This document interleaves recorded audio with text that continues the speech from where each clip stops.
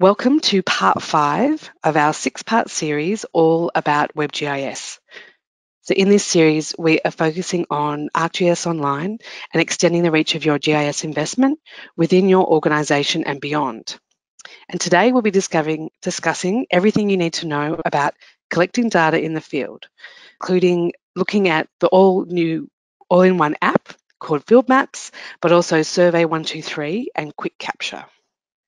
And joining us to present today's session, a very warm welcome to John Hewson and to Jess Phipps, both part of our client success team. So you may have had the opportunity to meet both of them virtually already. Um, if not, you'll get to hear from them today. But let's jump into this. It's a really big topic, and I know that the team have made sure that they've covered everything you need to get started with your fieldwork. So, with that, I'm going to hand across to John. Thanks, John. Thank you, Laura. So welcome all to part five of the Web GIS webinar series. My name is John and I'm joined today by my colleague Jess to bring you this episode on real-time field data collection. This webinar will be looking at the premier field data collection applications created by Esri from the perspective of a user of ArcGIS Online. In terms of what we will go through throughout this webinar, Firstly, we will cover the different strengths and use cases of the field applications. After which, we will take a closer look at ArcGIS field maps in particular. So this will involve looking at layer configuration, web map configuration, and setting up the field maps project itself. This will be followed by a field maps demonstration. After field maps, we will take a look at ArcGIS Quick Capture, an application intended for rapid data collection. And to wrap up this episode, Jess will take us through configuring a Survey 123 project. So this involves creating the surveys, retrieving answers from them, and then performing your analysis. So let's get started. To cover some of the primary differences that exist between the three premier field data collection apps for ArcGIS. Firstly, we have Field Maps. This is a smartphone-based, map-centric data collection app. It is designed to replace the functionality of ArcGIS Tracker, Collector, and Explorer all in one. The replacement of these now deprecated applications is why, when regarding the use of ArcGIS field apps, we try our best to encourage newcomers to start with using field maps. Field Maps is intended to streamline and simplify the workflows associated with the Field Apps suite, and having one app to install improves the life of a mobile worker as well as a systems administrator. Secondly, we have ArcGIS Quick Capture. So this fits a specific niche that field maps or Survey 123 do not. It is intended to be used for quick data entry applications and is therefore button-centric. A common workflow would be to have two field agents driving around a survey area, with a passenger using quick capture on a mobile device to hastily use the larger buttons for rapid data collection, enabling you to collect data in a matter of a few seconds. And Survey 123 sits somewhere in the opposite end of the functionality spectrum. Whilst both Field Maps and Survey 123 are useful primarily for their smartphone functionality, there are differences in terms of features between the two applications. Certain types of user input can be programmed into Survey 123, such as calculator or slider widgets for numeric questions.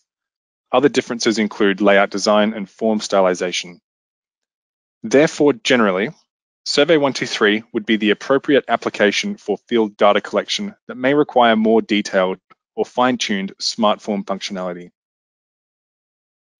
In terms of the user types licenses required to use these apps, the ArcGIS Field Maps app is included with the Mobile Worker, Creator, and GIS Professional user type licenses.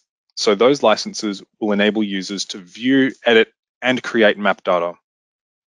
The editor user type will allow you to view the maps, as long as the Field Maps add-on license is also applied. The viewer user type will enable you to view maps as well. This webinar is intended to serve as a practical introduction to using Esri's premier field data collection application, that being Field Maps. So now we shall spend some time discussing the functionality of this mobile application. It is intended to be an all-in-one app its design and ease of use serves to enable field maps to fit most field data collection workflow requirements. In comparison to the alternative field apps, Quick Capture and Survey 123, Field Maps fits somewhere between the two, with some overlap. Data collection is the primary use case for Field Maps. Using its SmartForm functionality, you are able to easily and efficiently collect data in the form of points, lines, or polygons in the field. This also applies to editing already filled data points. Real-time location tracking. This feature is also battery optimized. To summarize how this works, the application will monitor your activity status whilst you are sharing your location. When the device is moving, high accuracy locations are requested by and passed to the app. And when the device is stationary, low accuracy locations are requested. It is simple to configure. As we will see in the upcoming demonstrations, Field Maps is very simple to configure, only requiring a few steps. High accuracy field data collection and inspection, and you can also take your projects offline for the purposes of collecting field data in regions with limited connectivity. So the features just mentioned are considered to have been part of the phase one release for ArcGIS field maps. Phases two and three are yet to come. Phase two is the ability to coordinate your workforce. So this functionality is intended to replace the features of ArcGIS Workforce and will include the ability to create and assign tasks to field workers. This will include a to-do list directly within your map. And phase three will deliver the ability to launch consumer navigation apps like Apple Maps or Google Maps directly from the ArcGIS Field Maps application. This will bring the advanced navigation capabilities of ArcGIS Navigator into Field Maps to enable users to get turn-by-turn -turn navigation using your own map content.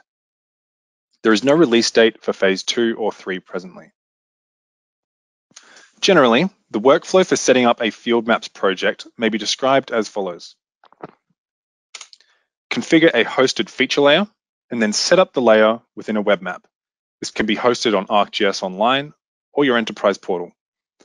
Secondly, you want to go to the web configuration page for your Field Maps project. Here you can select the relevant web map and then configure your smart form which is what your field workers will be interacting with in the field. And at this point, you can load your Field Maps project into your mobile device and perform your desired workflows out in the field. So, as we've just mentioned in the previous slide, the first stage of configuring your Field Maps project is to configure your hosted feature layer. In this case here, we are creating and defining our own new layer which contains three different geometry types, being points, lines, and polygons. Afterwards, you should add your required fields to the layer, and if you need, you may add a list of values, otherwise referred to as a domain. These are required values when filling out one of these fields. You can also choose to use a feature template to assist you with this.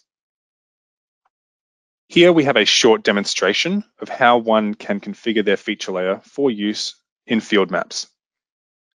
So as we outlined previously, we create the layer within ArcGIS Online, and we're giving it three layers with varying geometries, being points, lines, and polygons. Afterwards, we title the layer and save it into a folder if preferred. You can also add summaries and tags. After allowing the feature layer to save, we will then go and add our desired fields. ArcGIS Online will prompt us to go and complete the newly created hosted feature layer, suggesting that we go to the Data tab, which is where we will go next. In this instance, we're planning to add two arbitrary fields titled color and age to each of these layers. So we go into the Data tab and add a new field. Here we're keeping the data type as a string. And for the age field, we're using the integer data type.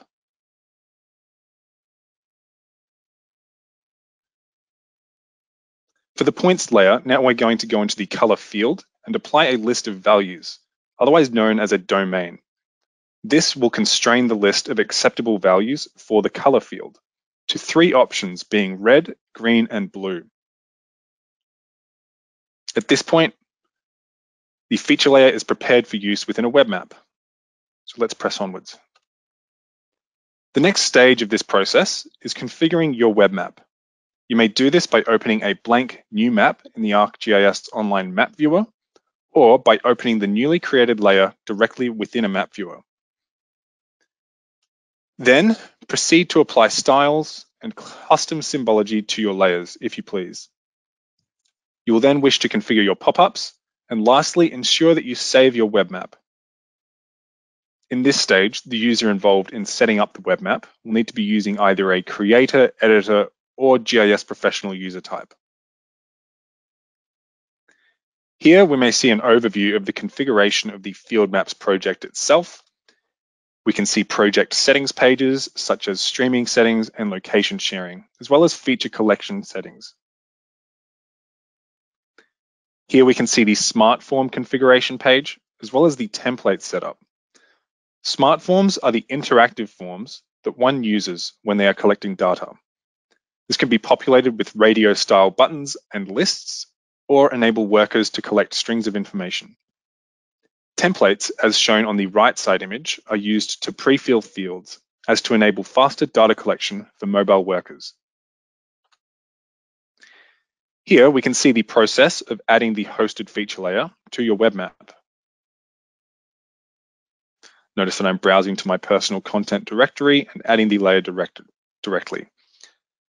Now the point, line, and polygon layers are present within the map, and I am proceeding to change the symbology as to have each of the layers visually unique within my project. Ensure that pop-ups are configured according to your needs as well. This will help when you proceed to configure your form. And after having applied all of your desired symbology changes, save your project. I'm titling this web map Field Maps 1 and saving it into a folder. Next, you can open the Field Maps browser interface.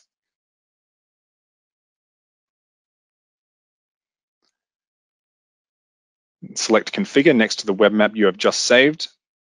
And then once you uh, click the drop down and open up one of your feature layers, you can select Convert Pop-ups. This will populate the smart form with the pop-ups that appeared in the layer within your web map. This creates a great ease of use.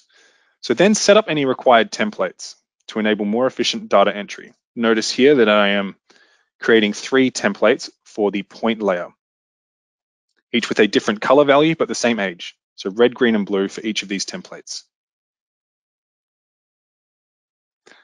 Then confirm that the settings for your field map project are set as intended. And at this point, the project is already prepared for use in the field making sure to save any changes that you make to your pop-up preferences and smart forms. Here we have a handful of screenshots of the Field Maps app in use. So firstly, you can see the layer selection page. Here you may select which layer you wish to collect data for. It presents you all of the templates you have set.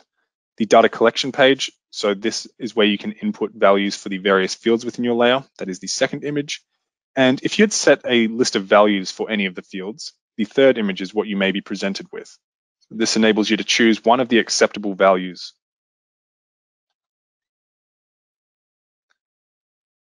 Here we can see the visual of when you select one of your data points, so it allows you to scroll up on the page and access the edit, copy, or delete functions, or you can also collect here to apply a new data point to the very same position. You can also favorite your points.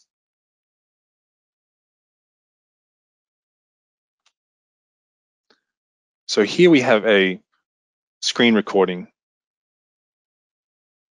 using the Field Maps application on a mobile device to collect data points. So this is what the interface will look like you have the option to attach files and take photos.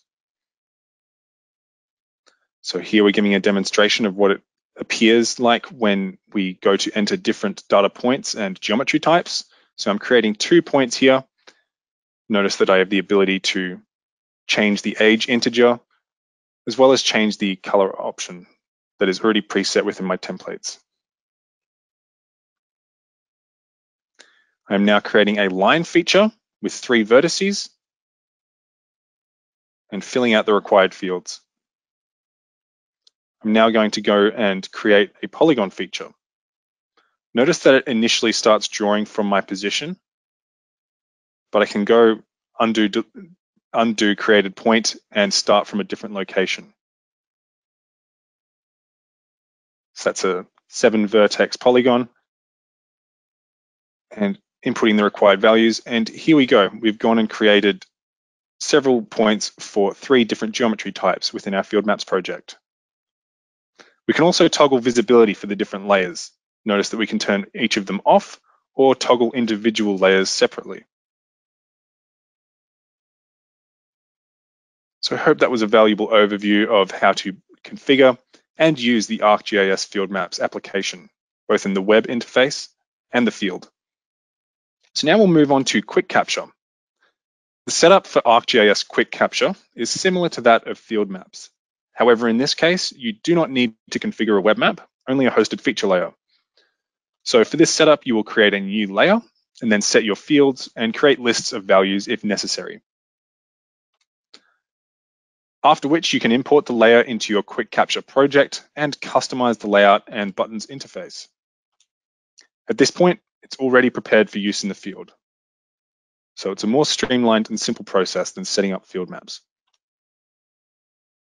As I've just recently gone through a demonstration of setting up a hosted feature layer, here we just have a screenshot of the process undergone for this instance. And in this case, we're just making one with a point layer. There is no need to be using a line or polygon layer in this instance as it doesn't lend itself very readily to the workflows of using quick capture to quickly capture points as you move past them. This may become more clear through the demonstration. And as soon as you've created that hosted feature layer, you can then access it within the pro project configuration page.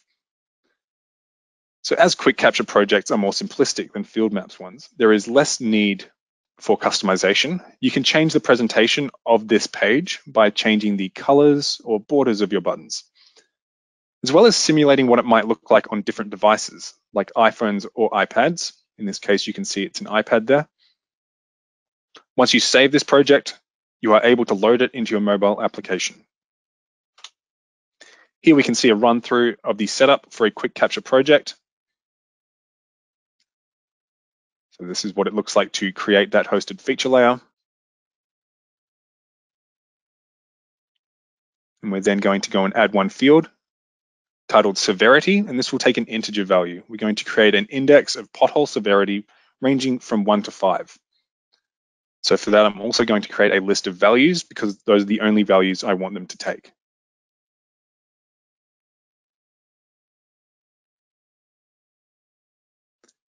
And at this point, it is ready to be imported into Quick Capture Designer. So we'll go and change tabs now to the Quick Capture Designer interface and import our new hosted feature layer. As well as creating a new project in the process. So now we're configuring the button user input for the severity field we will label it on the interface and also make it a required user input. So whenever collecting a data point, you will have to set a value for this severity field, making sure to save when you do so. Then just taking a moment to go and customize the symbology and presentation of this page here, applying a custom symbol to the image, as well as just changing the fill and border for the button's colors, as well as the size. We'll also make it mandatory that the user provide at least one photo with a maximum of five for the project when collecting a point. And at that point, once you save and select share, you can gain access to the QR code, which will allow you to download the project directly to your mobile device, which is where we'll take this next demo. So here we scan the QR code and immediately you gain access to your project. Upon opening it, this is what we are presented with. We'll select the button to collect a pothole. That's quite a severe pothole. We'll assign that a severity value of five. And done. And there's a second pothole that we will collect data for as well. I believe that also warrants a five in terms of severity. And done. So we've collected these two points. If we now go select the base map icon in the top right hand of the screen, we can go and browse to the locations of these newly collected points and select send, after which the hosted feature layer will be updated with the values that we have presented and the attachments will also be delivered. So I hope that was the beneficial overview of how to set up and use Quick Capture. I'll now pass on to Jess to give us an explanation of ArcGIS Survey 123. Great, thanks, John. So as John has touched on, uh, ArcGIS Survey 123 is a complete form-centric solution for creating and analysing surveys. The working in, with surveys in Survey 123 involves a three-step workflow, and the 123 in its name actually denotes the end-to-end philosophy of the product. So first we will create a survey and this can be done in the web designer or if a more advanced formatting is needed in Survey 123 Connect, which supports, supports a large amount of XLS form specification. Second, we will get answers either in the web app on an internet browser, or we can do it through the field app on a mobile device. And we can also integrate it with other apps such as uh, ArcGIS Field Maps. And then the third step is to analyse those results, which we can do in the Survey 123 website. And our answers can be represented as charts or graphs to aid the interpretation and help us make decisions, or as raw data that we can then use in some of the other ArcGIS apps as well. So the first step in the workflow is to create that survey. And with Survey 123, we will create and share a web-based smart form. This smart form not only enables you to ask questions, but also gives you options to customize the behavior of those questions. So we'll take a look at how we create a survey. So we log into the Survey 123 website and we click on the new survey option in the top menu. Uh, they can be created from scratch or based on pre-configured templates. So this has created our smart form and we'll start by setting up with an appropriate name, add some tags and a description, and then we're ready to start adding and configuring those questions. So when a question is selected in the middle of the screen, you can edit it from the menu on the right hand side. And from the Add tab, you can see the available survey elements, which you then drag and drop into the center to add. And you can also pick them up and drag them to rearrange. So there's no coding necessary. It's a nice, easy uh, beginner user interface that we're working with here. And it's a good idea to make sure you save as you go. Questions can be configured for multiple types of responses, so such as time and date, uh, single or multi-line text, as well as single choice and multiple choice, uh, where we set pre um, default answers. Uh, we can also tick the allow box here to add in if we want users to be able to add an extra answer that we haven't thought of. So you can see the user interface here is quite simple and intuitive. Uh, we can also ask users to attach images or audio files. Um, we can also set up how we want those captured, either directly in the camera or browsing through images in their gallery. We can also collect GPS coordinates by adding a map question into the survey and we can design that map uh, selecting a different base map, also selecting, selecting the extent that will be shown. And we can set questions as required to make sure that that question has to have an answer before the user is able to submit the survey. So once you're happy with your survey, it's saved and ready to go, before publishing, you might want to change the appearance. So we have a number of colors and images available. But if your organization had some custom colors that you worked with or you wanted to add in a logo, uh, that's available to do as well. So once you've published, you can then share your survey to get those answers. You can do that using a QR code or a direct link as well.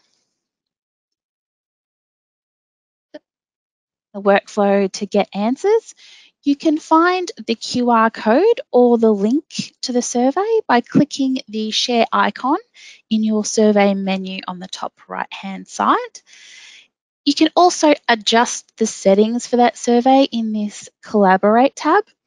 Some considerations that you might want to keep in mind is whether this is open to the public to be able to fill in or if you want to limit it to your existing organisation members. So with the survey, users can access that either in the Field app or the web app. So the Field app that we have in the center here, this is available for iOS and Android mobile devices. With the Field app, surveys can be completed offline and those results will be uploaded when they have an internet connection again. And the web app is simply opened in a web browser the web app does offer functionality that is not available in the field map, uh, such as displaying that thank you screen when the survey is completed. Oops. And then our final step in the workflow, and that's to analyze your results. So as surveys are completed, those results will become available to the survey author immediately in the Survey 123 website as long as those users that are submitting are working in a connected environment.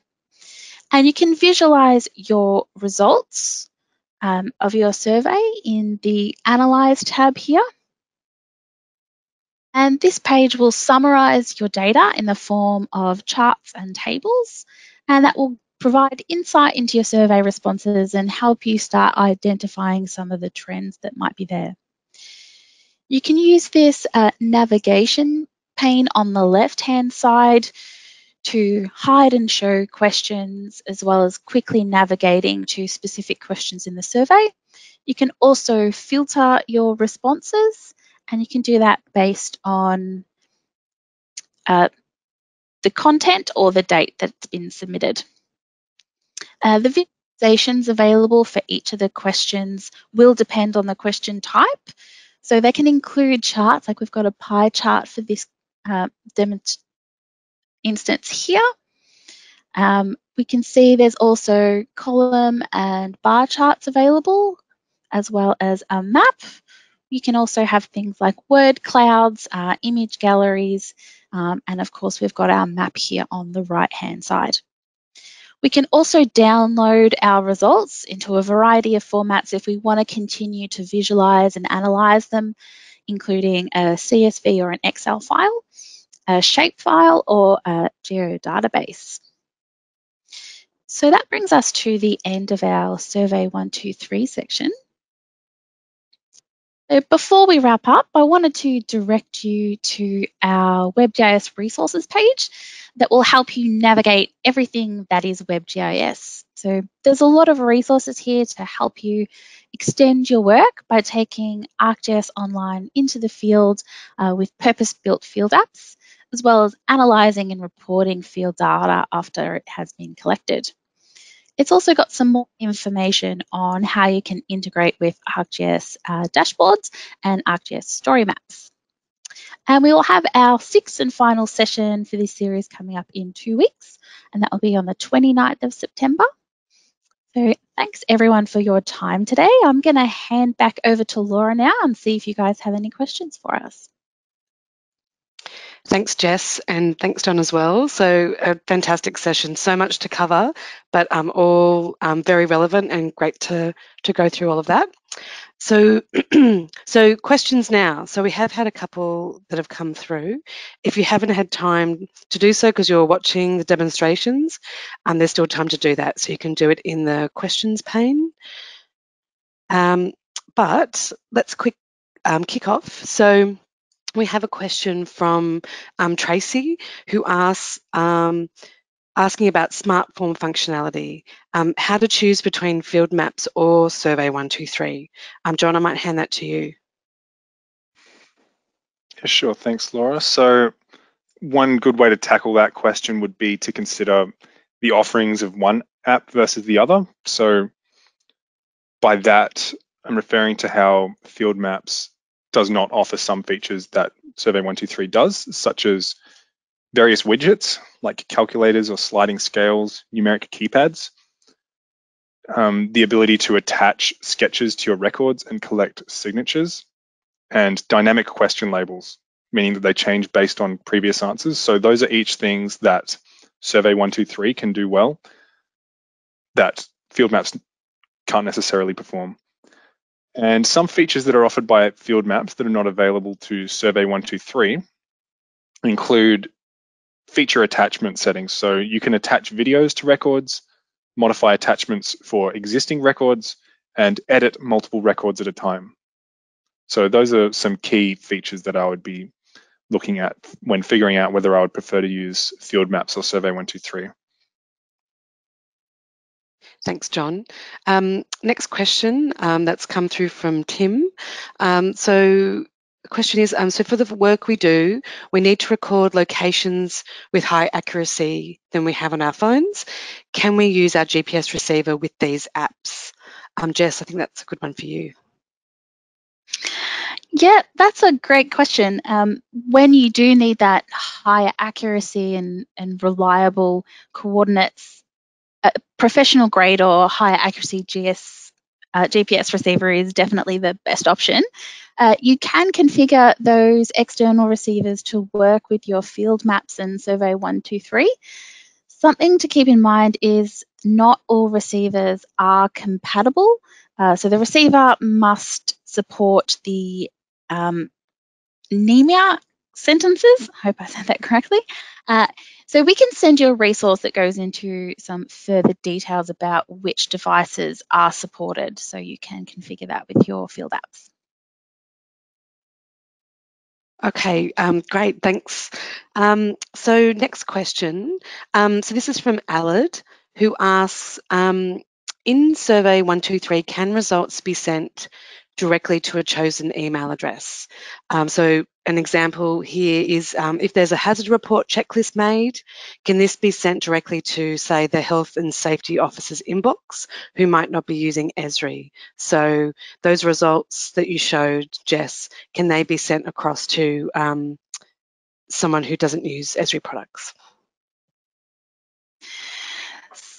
You can set up automated emails from Survey 123. That is done through what's called a webhook. So that is actually a third-party uh, workflow software. Um, the thing, things like um, in, Integromat is one possible option, and that's you set your workflow through that uh, that webhook. Um, so again, that's something that we can send you some resources on how to do as that is done separately from the Esri software. Thanks, Jess. Um, and yeah, I'll grab that link and we'll make sure that um, when we send out the recording of today's session, we can include that link in there as well. That's really good. Um, Craig asks, um, how do you integrate Survey 123 to make it available in field maps? Um, John, I'll hand that one to you. Yeah, so that's a pretty common workflow. We've seen a lot of users seek to integrate Survey 123 surveys with field maps via pop-ups.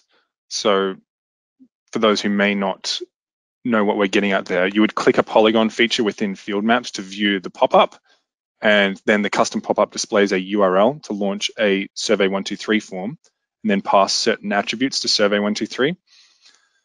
So the user would then fill out their survey, submit, and field maps would reopen via a callback to the spe specified map.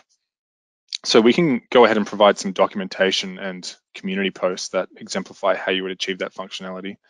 Absolutely. Thanks, John. Um, Scott asks, um, how can I arrange for a customised training session delivered at my workplace for our staff? That's definitely um, something that we could look into. So um, Scott will send you um, an address to reach out to the team to organise that. Thanks for asking that.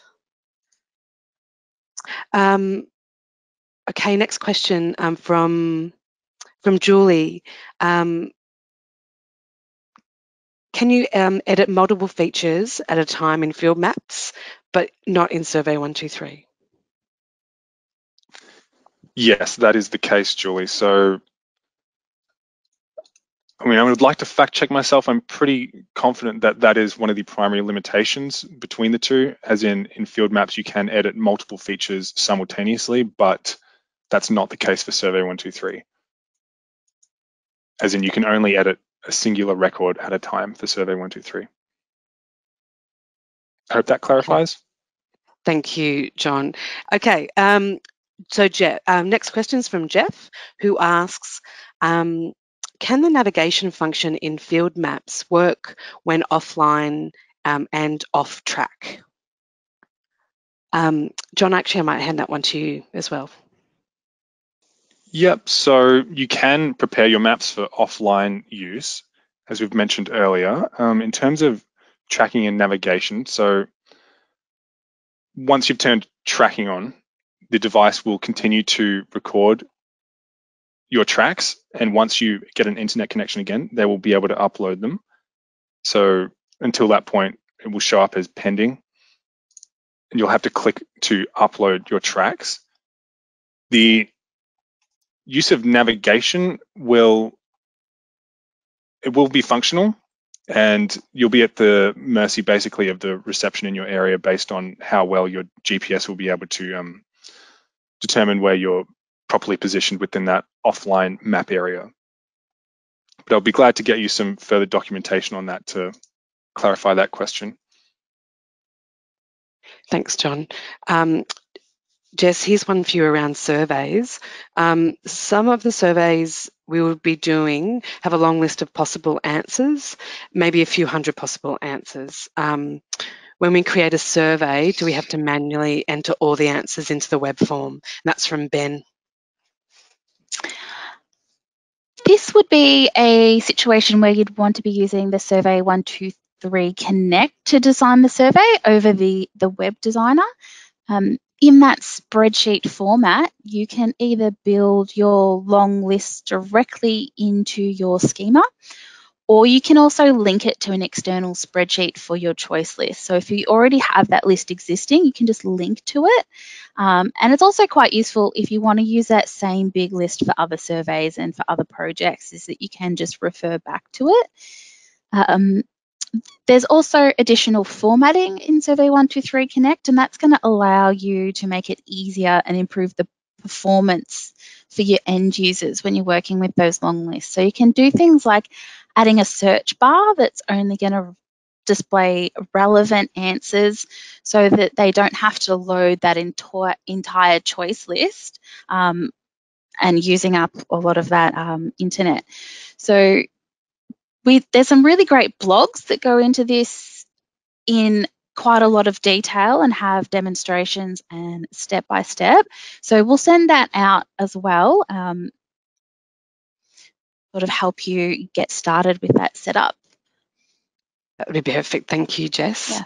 Um, Craig asks, um, is Survey 123 app still available as a Windows installation?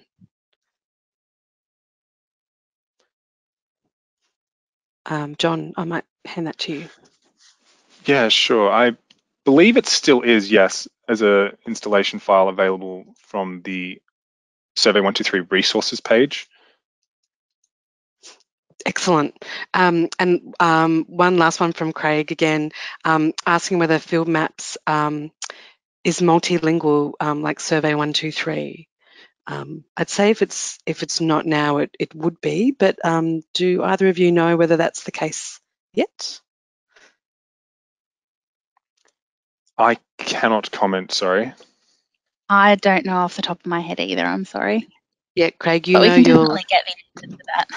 Absolutely, Craig. I, I know you use um, field maps and surveys a lot, so we'll we'll find out about um, when um, I can imagine the multilingual will be available. Thank you for your questions. Um, okay, um, Peter asked whether we can send um, a GPS device compatible sheet. I think there might be a resource online for that. Yeah, there's we do have a link that uh, has the requirements for the, those GPS receivers. Excellent. Um, Peter will reach out to you directly. Um, and I know you are wondering about who to ask around more technical questions. Um, so you can also at any time reach out to support at esriaustralia.com.au and they're always a good port of call to get started with your questions. Um, okay. Um, Meg has a question here. In survey 123, are you able to export reports um, as an automated Word document. Jess? You can create a template for your reports to export. Whether that is an automated process, I would have to have a look into that. Okay. Whether that can be done. Okay, excellent. But you can definitely export reports. That's possible, yes. Okay, great. Um, so, um, John, this one would be good for you. So it's coming in from um, from Doug asking, um, you mentioned mobile workers can use maps offline. Can we still track them offline? Yes, Doug. Yep. So once they've turned tracking on, the device will store all of that tracking data during that session. And once you re regain that internet connection, they'll be presented with the ability to upload them. So those tracks will remain on the device whilst the upload is pending. And once you've selected to have that data uploaded to the tracking layer, it will be deleted eventually. So if you do sign out before having uploaded those tracks, they will be lost and can't be recovered. So it's important to ensure that you do manage to fully upload those tracks prior to signing out of your app. If I could just add uh, to something else yeah. um, to the that as well. Um, it is important to know that once you do have those tracks in ArcGIS Online, they're valid in there for 30 days. So after 30 days, uh, those tracks will disappear. So if you do want to uh, keep them and keep working with that specific track, it's a good idea to export those as well to a file. So you can export them to a few different file types um, but just be aware after 30 days, um, they'll be gone from online. Thanks, Jess. Good extra tip there. Um, Peter asks, um, can you take GPS um, in, that's in um, one datum and have field maps convert it into another datum? It's a John, good question there. Sorry, I'll yeah. have to do a fact check on that. Um, yeah, I can't say off the top of my head, I'm afraid.